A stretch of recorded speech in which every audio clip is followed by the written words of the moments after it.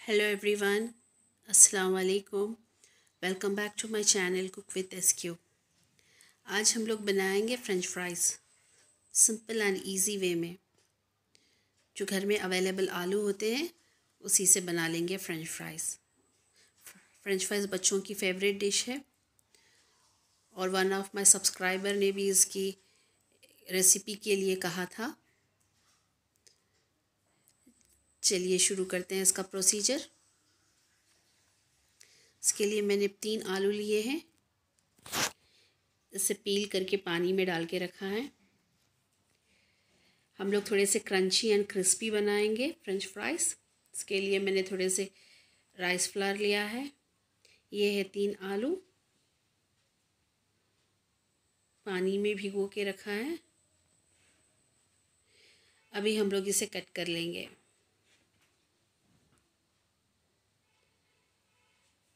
पहले स्लाइसेस में काट लेते हैं इसे, फिर बाद में इसके फ्राइज़ बना लेंगे।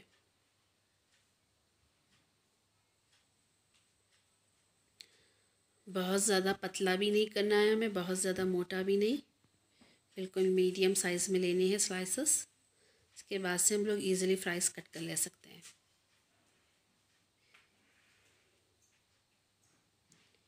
देखिए, इस तरह से कर लेने हैं हमें फ्राइज़ को कट अभी इसे हम लोग पानी में डाल के रखेंगे।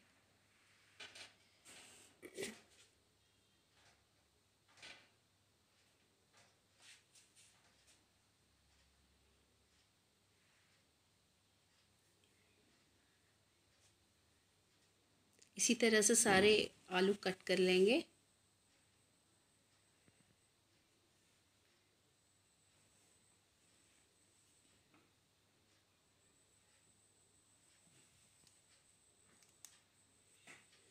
उसके बाद से मैंने धो लिया है फोर टाइम्स अभी हम लोग एक पैन में पानी रखेंगे बॉईल करने के लिए। जो आलू हम लोग धो के रखे हैं, वो इसमें डालेंगे।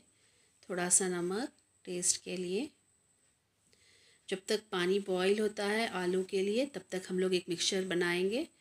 ये मैं इसके स्पेशल क्रिस्पी एंड क्रंचीनेस देने के लिए फ्रेंच फ्राइज़ को मैं बना रही हूँ ये पाउडर मिक्स कर रही हूँ ये पाउडर ये है टू दो चम्मच कॉर्नफ्लोर दो चम्मच राइस फ्लावर दो चम्मच आल पर्पज़ फ्लावर एक आधा चम्मच काली मिर्च पाउडर थोड़ा सा नमक और थोड़ी सी कुटी हुई लाल मिर्चें चिली फ्लेक्स सारों को मिक्स कर लेंगे।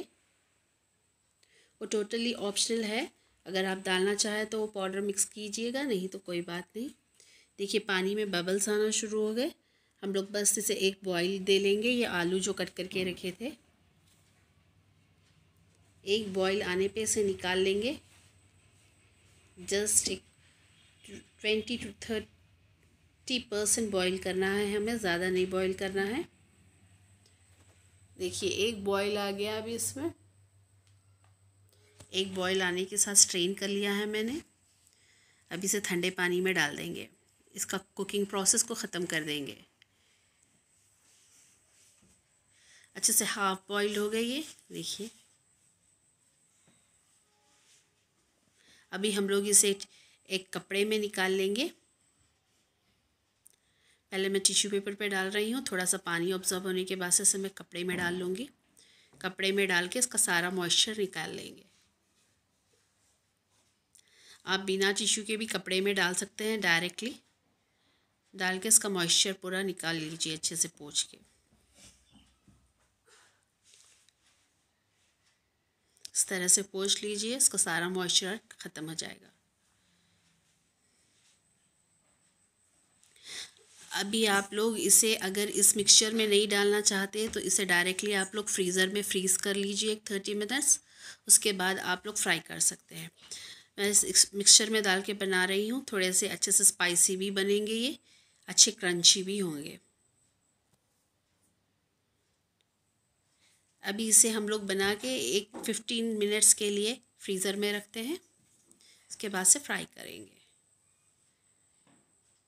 Ten ten to fifteen minutes के बाद से मैं निकाल के फ्राई कर रही हूँ। आप लोग चाहे तो इसे स्टोर भी कर सकते हैं। जब आपको सर्व करना है तब फ्राई करिएगा। अभी एक कढ़ाई में मैंने तेल लिया है। तेल बहुत ज़्यादा गर्म नहीं करना है हमें, मीडियम फ्लेम पे रखना है। अब इस तरह से हम लोग इसे फ्राई कर लेंगे। ये अच्छे से क्रिस्पी और क्रंची बनेंगे, क्योंकि हमने इसमें rice flour all purpose flour और और कॉर्नफ्लोर लिया है। देखिए कितने अच्छे अच्छे फ्राई हो रहे हैं। इसका कलर भी बहुत खूबसूरत आएगा इससे जो फ्लावर हमने लगाया। और फ्लावर को अच्छे से डस्टिंग करके डालिएगा। देखिए, अभी दूसरे स्ट्रेनर पे ले लेंगे, या छन्नी अगर स्ट्रेनर इस तरह से नहीं है तो आप लोग छन्नी में भी ले सकते हैं, या टिश्यू पेपर में भी ले सकते हैं। हमारे फ्रेंच फ्राइज़ बन के रेडी है, अच्छे से क्रंची और क्रिस्पी। सर्व करने के लिए रेडी है। आप लोग इसे गार्लिक के साथ, गार्लिक मयोस के साथ सर्व कर सकते हैं या केचप के साथ अपनी मर्ज़ी। अगर से मेरी ये रेसिपीज़ आपको पसंद आ रही हैं तो प्लीज़ लाइक कीजिए शेयर कीजिए सब्सक्राइब कीजिए। अगर से मेरे चैनल पे पहली बार आए हो तो सब्सक्राइब ज़रूर कीजिएगा। Thank you for watching my video thank you very much